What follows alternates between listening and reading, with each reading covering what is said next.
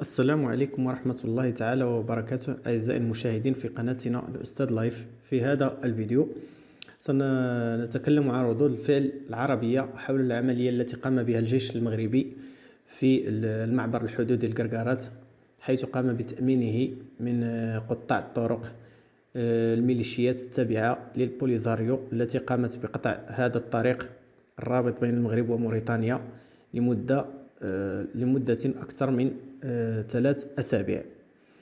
آه، إذا من طبيعة الحال يعني بالنسبة للدول العربية يعني الأغلبية أيدوا هذه العملية اللي قام بها الجيش المغربي واللي من بينهم الإمارات قطر الأردن اليمن السعيد كذلك عمان الكويت والبحرين والسعودية.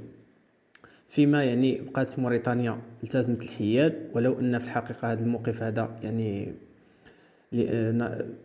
يعني غير مقبول في الحقيقة نظرا لأن هي أيضا كانت متضررة من هذا التوقيف ديال هذا المعبر الحدودي المهم ثم كذلك بالنسبة للجزائر للأسف الشديد استنكار يعني لما حدث في المعبر الحدودي القرقارات ودعت إلى ضبط النفس إلى آخره. لماذا ضبط النفس؟